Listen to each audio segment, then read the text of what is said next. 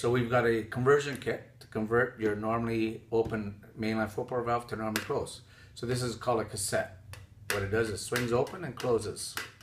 And that's where we're going to be installing the body. So step one will be, of course, removing all of your bolts around your valve.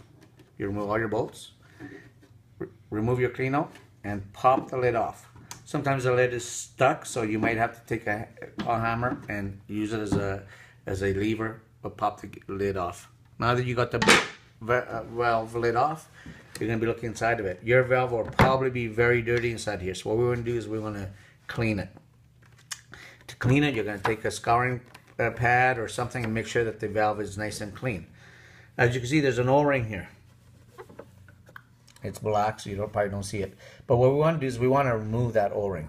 So you're going to take a little uh, nail or something and pop that O-ring out of there. Once your valve is clean, we're going to take the cassette. And what we want to do is we want to provide some ABS glue. This is ABS. And what we're going to do is we're going to put the ABS glue on this rim. Just a little bit. You don't need very much. So with your cassette, what you're going to do now is you're going to pop the gate off. The cassette has its own O-ring in the front. It does not have an O-ring in the back, although there is a provision for it. We don't have it on this one because we don't need it. So now that you've got glue on this face here, you're going to probably put a little dab of glue on this face. We want to make sure we don't get any glue on the hinges.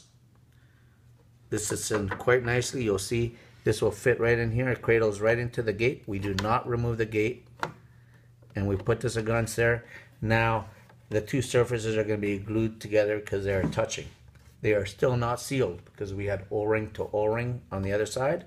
So now what you're to do is you're going to take a rubber glove, and you're gonna you're always gonna have a rubber glove, but you're gonna take your glove now.